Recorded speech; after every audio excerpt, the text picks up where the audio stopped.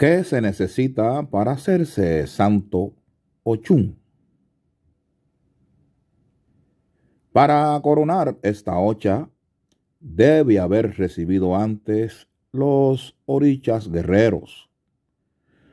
Luego, durante la coronación, se deben recibir los siguientes ochas y orichas.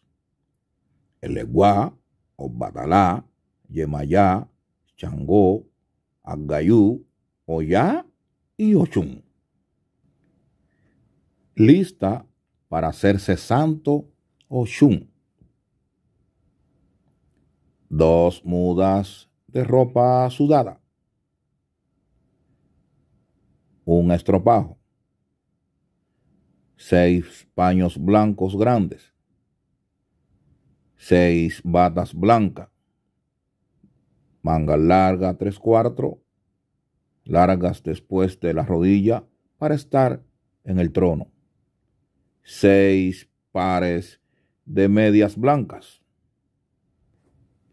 seis pañueleras blancas para estar en el trono, seis enaguas blancas o licra de algodón, leguín largas para estar en el trono, seis mudas de ropa interior blanca, sostén y pantalonetas,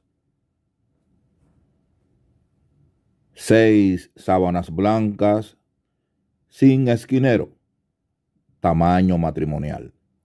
Un par de chancletas blancas, dos peines blancos, una navaja con hojilla nueva, una tijera de cortar cabello blanca, cuatro pinceles número cuatro,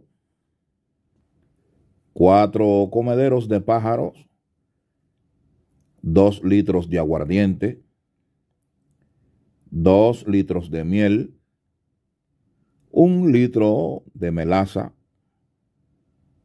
una botella de vino tinto para Changó, una botella de vino blanco para Gayú, una botella de ginebra olla, tres bolsitas de H de santo, dos jabones de coco grande, un jabón de tierra grande, agua bendita y medio kilo de cacao. Pero también va a necesitar 10 cascarillas, 20 velas blancas, 5 pinturas roja de santos, 5 pinturas amarilla de santos, 5 pinturas azul de santo, 5 pinturas blancas de santo, dos esteras gruesas, y dos finitas. Una pulsera de plata, una pulsera del santo a recibir ochún, dos cachos de toro, una jarra plástico con tapa, un tirro grande de beigue, un plato hondo, un plato llano, un vaso, cuchara, aluminio blanco. También necesita telas para la parada.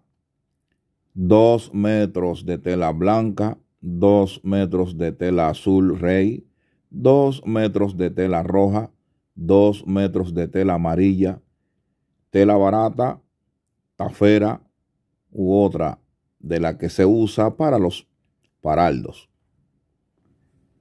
Herramientas para cada santo con sus soperas un plato de barro, el eguá, sopera o batalá, sopera madera changó, sopera yemayá, sopera de ochún, sopera librillo algayú, sopera de oyá. Pero si vas a dar como regalo los delantares, quilla o gorros con los colores de Ochun. Son 10. Esto es opcional. Si no puedes, no los das. No es obligatorio. Medio kilo de caracoles, cinco plumas de loro africano, una tinaja de barro con tapa, dos huevos de onix, de obatalá, un paquete de algodón grande, un cuarto kilo de jutía. Pero no olvide que la descripción completa se la puede dar su padrino en la 8. No olvide, en primer lugar, que hay que destacar que Ochun es la hija de dos santos orillas.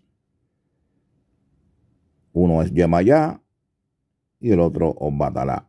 Y a su vez es hermana de Oyá y Obá. Igualmente fue esposa de Ogun, de Ochosi, con quien tuvo a Legún Ede. Y la segunda de Changó, con quien tuvo a los dos Jimaguas, Talaco y Salabí. Tampoco olvides que Ochun es la diosa del amor, la diosa de la miel, de la cabeza, de la dulzura, del encanto, de la sensualidad. Es la dueña de la cascarilla, la secretaria de Olofi. Ochun es la belleza y la vida, la alegría y la tristeza. Su risa y su llanto encierran sentimientos muy distintos. También es importante que usted sepa que los números de Ochun son el 5 que simboliza a Ochun y determina su representación también. De sus atributos rituales no pueden faltar cinco piedras de río, cinco pulseras de cobre y una corona de cinco puntas, en la cual cuelgan cinco púas de cobre. El número tiene papel en la adivinación con los cuatro pedazos de coco. Para saber de quién eres hijo en la santería, lo puedes hacer por medio de los caracoles. Es un método de adivinación. Con la ayuda de un santero experimentado, él determina por medio de los signos que interpreta cuál es el oricha de tu cabeza. Tampoco olvide usted que el día de Ochun es el 12 de septiembre. H.